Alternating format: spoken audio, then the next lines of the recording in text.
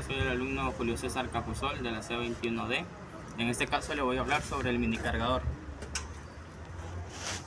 Bueno, el mini cargador cuando encendemos, eh, ya por defecto nos aparece parking, lo cual nos asegura del que el mini cargador no, no se opere o no se muevan los implementos. Se puede encender, sí, pero operar no. Este, en el caso de que ya lo vamos a operar, desactivamos parking, o bueno, lo tenemos, este, ya lo prendemos y ya por mismo defecto nos aparece el parking ya activado. Por la misma seguridad del, de los compañeros que estén a los costados y por la misma seguridad nuestra. Bueno, acá tenemos el joystick de los implementos, el cual adelante nos sirve para subir el, el montacargas y para bajarlo. En este caso, como vemos, también tiene para los pallets, eh, los negritos que está arriba. Para mover arriba y abajo, ese mismo, derecha e izquierda. Tenemos dos marchas, las cuales tenemos en modo tortuga y modo liebre, las cuales según esto se va a manejar las RPM del, del motor. En tortuga, eh, RPM bajas y en liebre, RPM altas. En este caso acá tenemos el joystick de, de las marchas, bueno, de adelante, de reversa y adelante. Y también tenemos el sentido de giro, izquierda y derecha.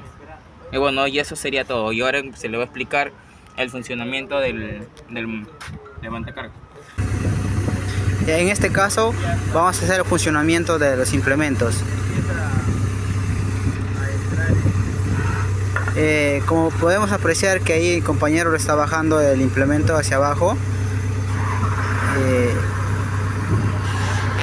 seguidamente lo seguidamente podemos apreciar que el implemento se está moviendo para abajo y ahora lo está retrayendo ¿no? a continuación va, va, a proceder a, mover eh, el joystick para que los la marcha, que en este caso está para el forward. Y ahí podemos apreciar que la llanta está girando. Y ahora ha cambiado en sentido de, para retro, ¿no? como podemos apreciar que eh, la llanta, los neumáticos están de reversa.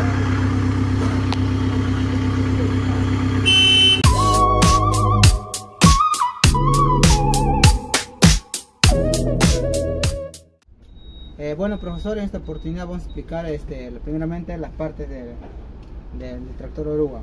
En esta parte podemos apreciar que es este para poder mover este el implemento de, de, la, hoja topadora.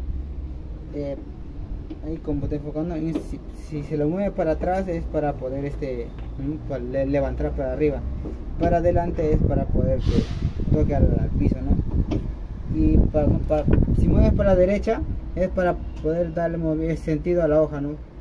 para que se pueda inclinar para la derecha o izquierda en este caso. Y por esta parte tenemos que el acelerador ya que este, con esto se puede manipular la velocidad de la, máquina. Y esto es para poder este, darle sentido este, a, la, máquina pues, tanto en forward o en retro.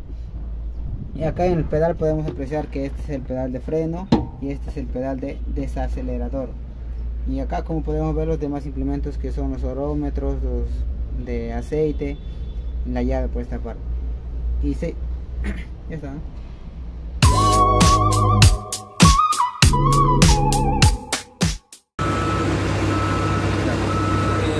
Saludos profesor, mi nombre es Mendoza Tirado César.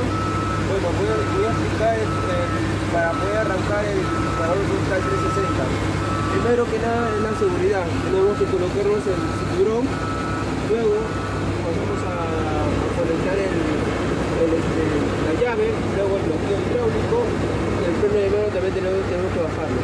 Acá se encuentra el freno hidráulico, los cuales tenemos que levantarlo para poder encender el, el, frontal. Luego seguimos a encenderlo. Solamente tenemos batería para así poder tocar el clapso y avisar a nuestros compañeros de que se puedan alejar.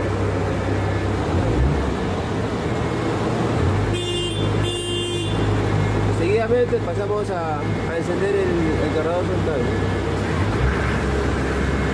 Una ese sentido, acá tenemos las palancas de levante y la palanca de angulamiento de la pala. Vamos a angular, eh, vamos a, este, a levantar la pala con la palanca.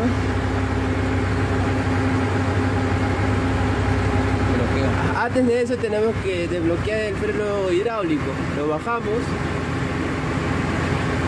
Ahora sí pasamos a, a levantar.